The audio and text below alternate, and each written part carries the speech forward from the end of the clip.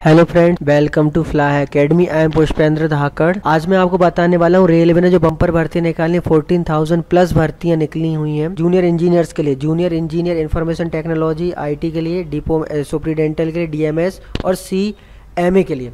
तो आइए शुरू करते हैं। सबसे पहले मैं आपको बताता हूँ, इसका डेट ऑफ़ पब्लिकेशन नोटिफिकेशन का था, उनतीस दिसंबर को। जी हाँ। इसके जो ऑनलाइन रजिस्ट्रेशन चालू होंगे, वो होंगे आपके दो जनवरी से। और इसका जो लास्ट डेट है फॉर्म भरने का, वो है आपका इकतीस जनवरी, जिसमें आपके ऑफलाइन पेमेंट का लास्ट डेट है चार फरवरी और ऑनलाइन पेमेंट का लास्ट डेट है पाँच फरवरी को। एग्जामिनेशन होंगे, वो इस दो तरीके से होंगे स्टेज वन और स्टेज टू जी हाँ सी बी टी वन और सी बी टी टू होगा, जो कंप्यूटर बेस्ड एग्ज़ाम होगा। C B T computer based test तो आइए हम आगे बढ़ते हैं। हम देखते हैं इसमें एज का क्राइटेरिया कि एज क्या होगी, क्या मांगी इन लोगों ने। तो एज इन लोगों ने मांगी है अठारह से तैंतीस। जी हाँ जो मिनिमम एज है वो 18 है और मैक्सिमम एज 33 है। और बाकी फिर इसमें जितने भी रिजर्वेशन के हिसाब से उसमें एज का रिलैक्सेशन है। अब इसके बाद हम बात करते हैं फ़ीस की। तो फ़ीस जो है आपकी वो है जनरल और ओबीसी कैटेगरी वाले बच्चों के लिए फ़र्स्ट एग्जामिनेशन की वो पाँच सौ रुपये है, जिसमें चार सौ रुपये रिफंडेबल रहेगा। आफ्टर जब आपका सीबीटी एग्ज़ाम हो जाएगा तो सबको चार सौ रुपये आपके बैंक में पहुँच जाएँगे।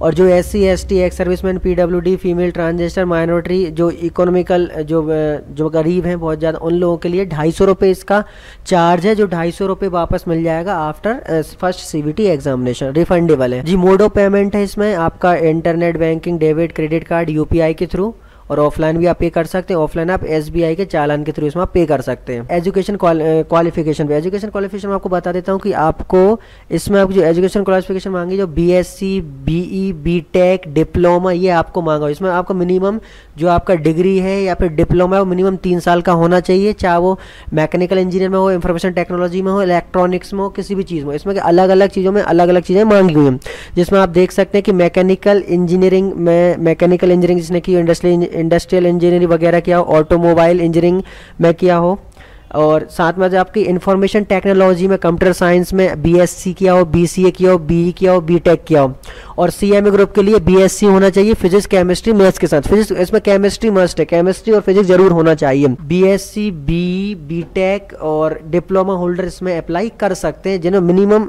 जो वो ड्यूरेशन होना चाहिए डिग्री का वो तीन साल का होना चाहिए। मैक्सिमम चार साल चलेगा, जैसे कि बी का चार साल होता है। तो आइए हम बात करते हैं सीबीटी एग्ज़ाम फ़र्स्ट की। जी हाँ सीबीटी एग्ज़ाम फ़र्स्ट में आपका जो टोटल जो 100 मार्क्स का पेपर होगा, जिसमें आपको टाइम मिलेगा 90 मिनट्स यानी कि डेढ़ घंटे आपको टाइम मिलेगा, जिसमें आपके मैथ्स के 30 क्वेश्चन रहेंगे रीजनिंग के 25 रहेंगे जनरल अवेयरनेस के 15 रहेंगे और जनरल साइंस के 30 रहेंगे। टोटल मिलाकर 100 मार्क्स का आपका पेपर होगा, जो भी 90 मिनट्स में होना है।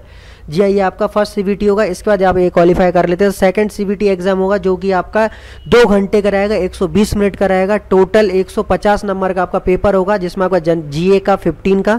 फिजिक्स केमिस्ट्री जिसमें टेंथ क्लास तक जनरली वो क्वेश्चन आएँगे, वो 15 मार्क्स का होगा। कंप्यूटर एप्लीकेशन का 10 नंबर का और basic environment and pollution control का 10 नंबर का होगा। साथ में जो टेक्निकल एबिलिटीज है, ये बहुत ज़्यादा आई एम में 100 नंबर का इसका क्वेश्चन होगा। टोटल आपके डेढ़ सौ नंबर का होगा और आपको बता देता हूँ इसमें नेगेटिव मार्किंग है। जी हाँ इसमें नेगेटिव मार्किंग है और साथ में आपको इसका पूरा सिलेबस देखना हो तो मैंने आपको इसका नोटिफिकेशन डिस्क्रिप्शन में दिए दिया है तो आप इसमें पूरा नोटिफिकेशन में आप इसका सिलेबस को चेक कर सकते हैं। तो दोस्तों, इसी के साथ ये वीडियो यहीं पे खत्म करते हैं। तो होप यू गाइज़ आपको ये पसंद आएगा तो प्लीज़ लाइक करें शेयर करें और सब्सक्राइब करना ना भूलो। और आपको ऐसी वीडियोस चाहिए, ऐसी अपडेट आपको बने रहना है तो प्लीज़ सब्सक्राइब ज़रूर करें।